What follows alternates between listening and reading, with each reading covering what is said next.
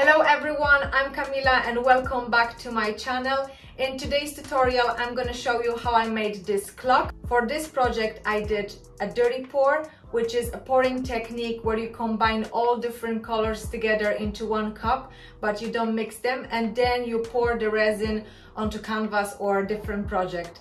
So without further delay, let's get to it. For this project, I will use MDF board painted with white acrylic paint. I protected the back and sides of the board with tape to prevent resin drips. I will use different shades of white, pink, champagne and some gold metallic powder. I added pigments to the resin and I'm about to start making dirty cups. I combine all colors without mixing. I just randomly pour one color on top of another. Right, the cups are ready and now I pour the cups on the board.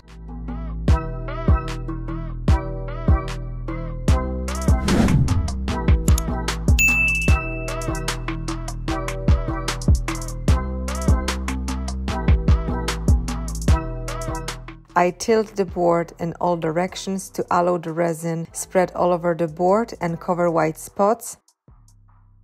I use torch to get rid of the air bubbles, but also to warm up the resin so it will spread quicker.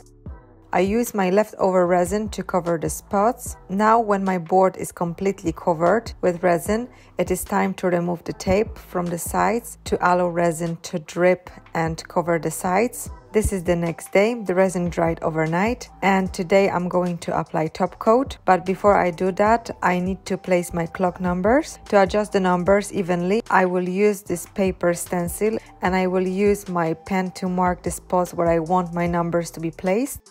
It is not shown on the video, but I applied on the back of the acrylic numbers thin double-sided tape, so when I pour my resin on top, my numbers won't move.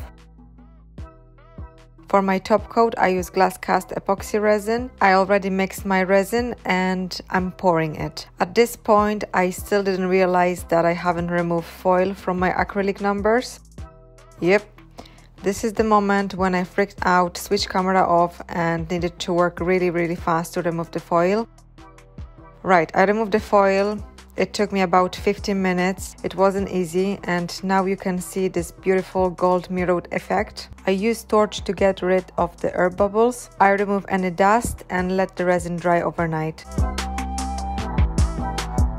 I remove the tape from the back of the board using a heat gun. I use sandpaper to smooth the edges. I place the clock mechanism and stick the square piece of MDF board with glue to hold the clock mechanism in place.